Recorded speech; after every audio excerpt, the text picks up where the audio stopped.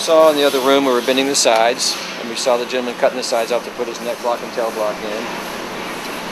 And then we are going to line it with kerfing, which is this material that we've, it's Spanish cedar. We buy two inch planks and mill it down and slide it to make our kerfing. And this gives us a surface we're going to top and back onto.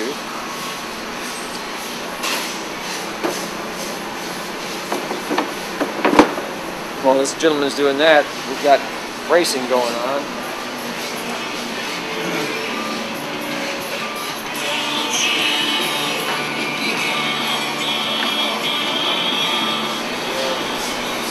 The braces on. This is a vacuum jig for security braces.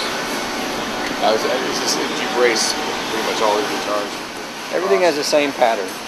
We, of course, will do different thicknesses for small bodies and large bodies and stuff. And most of our tuning is done actually with the thicknessing the top, not so much as carving individual braces on every guitar because it's kind of um, once you get off the road map kind of thing, you know. So we don't really do much individually carving of braces. We mostly do everything with thicknessing the top, depending on the stiffness, the, the weight, the flex, the tap, uh, what it's going on, what kind of wood it's being matched up with. Most of our most of our tuning per instrument is done with every one of these tops is a different thickness. They'll all vary five, ten thousandths. Then we'll actually feather the edges a bit with a little orbital sander, and, and all that all that thickness varies too around the edges. So it's we just we're fortunate that we're a small enough company we can take the time to make every top the best it can be for the particular guitar it's going on. So bracing and then carving.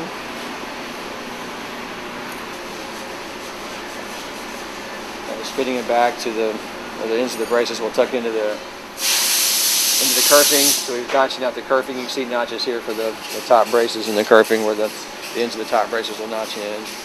There's a carved top.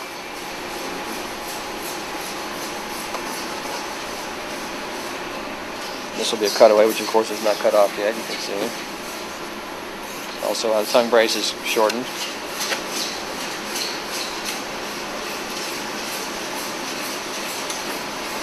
Thank you. Then when it's all put and it's all ready to go, you'll see the clamps against the wall. And put the top and the back on. We'll make a body. We'll route out a binding ledge. And we'll glue the binding on.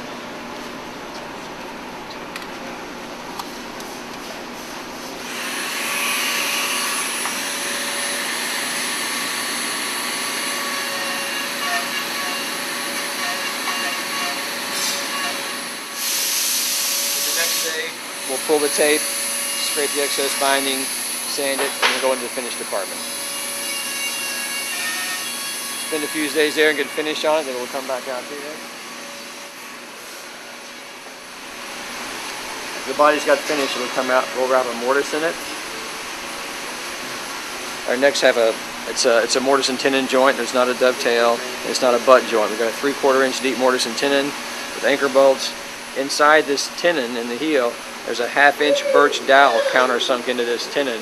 So these anchor bolts are going into that birch dowel, not just the end grain of the mahogany. Why? What is what is the reasoning behind that? Birch is a, is a very dense and it just it it's just for stability and structure. It's much stronger than just going into the end grain of the mahogany. And the mortise and, and the mortise and tenon kind of gives us better transfer into the actual body of the guitar. So it's got a nice joint. There will be no glue in this joint, there'll just be glue under the fretboard tongue. So if you have to remove a neck or do any neck set, it's a process of just It would be easier. pulling the bolts out. I don't know if you can see inside there. My fingers may be in the way. We'll pull the bolts out. Heat up the end, heat up the tongue of the fretboard, the end of the fretboard, and the neck will be easier to work on. Which is something that anybody's ever had to have the neck reset on their guitar. Yeah, we didn't see any reason to keep every repairman busy for the rest of his life doing neck resets, you know. So we try to make the job easier.